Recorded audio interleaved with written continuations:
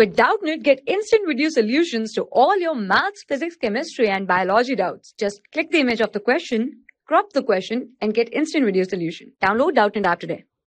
Hello, the question is what are amphoteric oxides? Give two examples. First, we should know what are amphoteric oxides. These are those oxides which reacts with both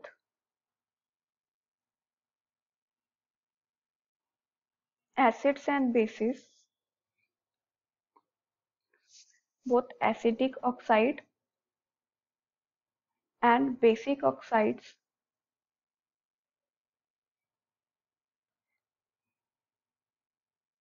to form salt and water.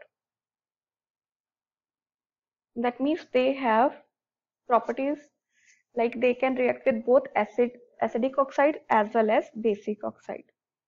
The basic example of these are zinc oxide and aluminium oxide.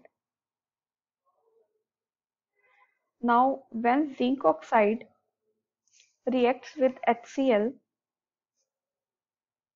then formation of ZnCl2 plus water takes place.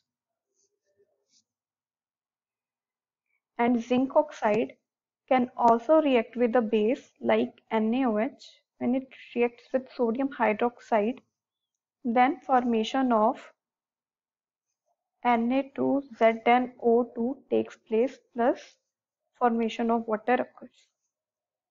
So according to this zinc oxide reacts with HCl which is a strong acid to form zinc chloride and zinc oxide reacts with sodium hydroxide which is a strong base to form Na2ZnO2. Now in case of aluminium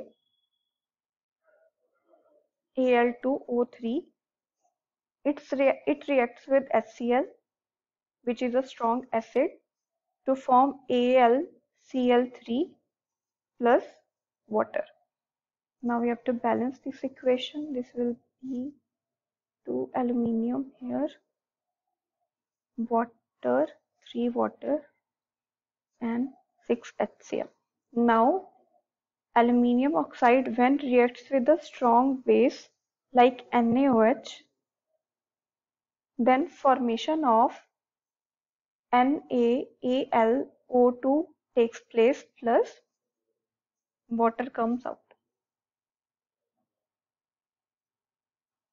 So here also according to these two reactions, here aluminium oxide reacts with the strong acid HCl for the formation of aluminium trichloride and here aluminium oxide reacts with the strong base NaOH to form NaAlO2. Thank you very much. For class 6 to 12, IIT JEE and NEET level. Trusted by more than 5 crore students. Download Doubtnut app today.